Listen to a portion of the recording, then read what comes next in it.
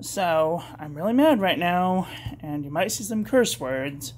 So I went to the 99 cent store and I bought some of this. It's blue Bakersfield colorite artificial color for cakes and stuff. Well, I put it in my fountain pen just out of curiosity, and it writes beautifully. The green turns out kind of like an army green.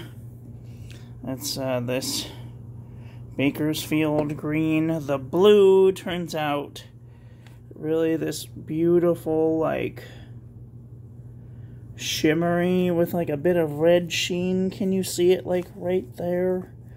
It's got some like red sheen in it. And then this yellow I put right here and I said fuck because I was really mad that I had spent like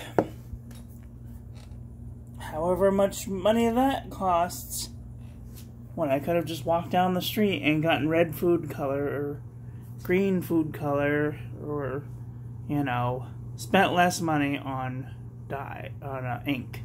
Anyway, I thought I would share that with you, and I wrote these sentences with the with the color, and um, it made me really mad because they're beautiful.